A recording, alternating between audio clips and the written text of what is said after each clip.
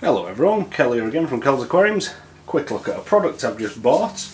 I'm just setting up another quarantine tank because I gave my last one to my brother. Because my quarantine tanks have, have, always been just like proper tanks. I've always had gravel in, full wood, living plants.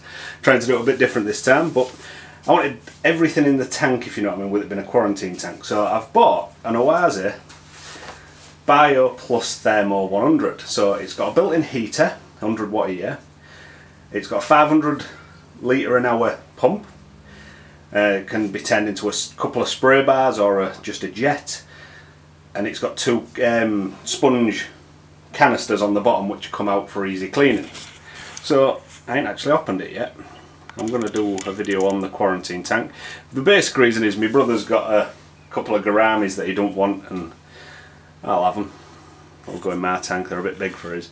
So yeah, I'm going to have a look at this. I'm going to pull it to bits, get everything out of the box and let you have a look. Because it looks a good piece of kit. Oase, since they've come into the uh, aquariums, aquarium business instead of just the um, pond business, seem to be doing alright. So it's only a little unit, it's 27 centimetres tall.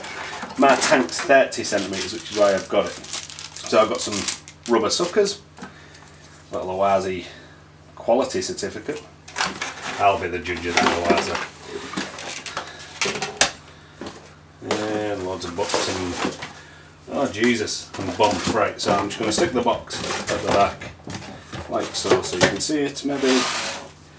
So what have we got? Let's have a look before look at the filter Bio plus 50, 100 and 200 booklet. Telling you all the action. Don't really care. It can go in a bin. The guarantee. A bit more important. So five years plus two year, uh, sorry, five year warranty if you register, or three if you don't. Seems good. And another old thing. So let me just take this out of the box, and we'll get to it. So, oh, it's got two plugs. Oh, the heater's separate. Okay, that's fair enough. I can live with that. So I'm just going to do it there make sure I'm in focus and everything. Get a bit of, a bit of a zoom on. So yeah, what it is it's just a corner filter, but it has an Oase, I'm going to take it out, heater in the back, so quite a nice heater, very standard, got a nice dial there, very clear so you can see what you want, but it goes and it fit real snug, so I'm just it down, fit real snug, but as you can see there's a hole there, it just goes down to the bottom. Of that hole, like so, and the water passes through it. It's got the heater can be used separately. It's got a separate plug and everything. So I'm just going to have to undo this because the the weight of the cables is going to drag it. Of it. Oh, so you. That'll do. Right, and then the actual filter itself has got its plug. So I've never done this, so oh no, here we go. Figuring out myself. So all you do to get the boxes off. So this gets stuck in your tank on the corner. And when it comes to cleaning, all you do is that, and this bit, as you can, I can show you the, the heater a bit better. As you can see, the heater's down here, you've got a small pump up here, five, I say 500 litres an hour, and there's the impeller. And that keeps stuck to your tank. So when you clean it, that lit this bit with the sponges and the media in just pulls off real quick. Okay, so let's just put that to a side. And have a look at this. So, I've just knocked a bit off because you're not having me. So, what we got here, just with I've just, what I knocked off was the pre-filter. So, it's the wrong way around. So what it is, it sucks in from here. Uh, sorry, not pre-filter, it's polishing sponge. So what you've got is, press the blue button, and all it is in them is a small plastic container with a block of sponge in there or you could put anything you wanted in there if I'm being honest.